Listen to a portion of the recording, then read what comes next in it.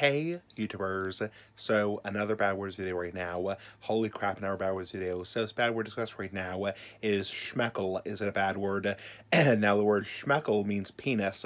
It's Yiddish for penis. So basically it's a Yiddish uh, slang word for the penis or the pecker, so or the dick for example. So is it a bad word?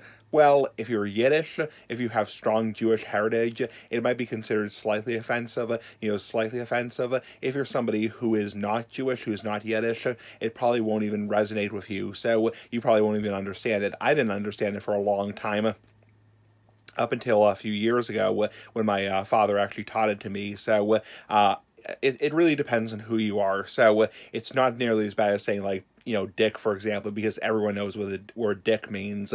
So uh, just be careful. Be careful, ass like the big ass cigar. But schmeckel is not really that bad of, bad of a word. It just means penis, you know, penis in general. Anyway, bye-bye.